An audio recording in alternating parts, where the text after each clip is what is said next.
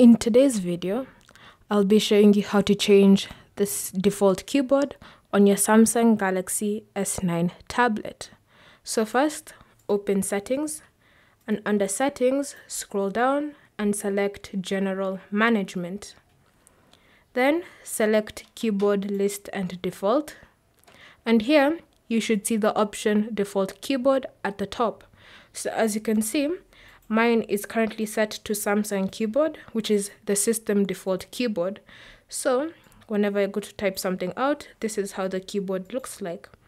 If I wanted to change it to any other keyboard that I've installed on my device, so I'll just go back to general management, keyboard list and default, default keyboard, and then I'll select the keyboard I want.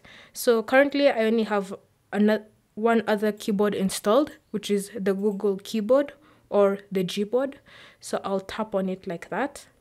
And then when I go back and I try to tap, type something out, you'll notice it's brought me the, the Gboard or the Google keyboard.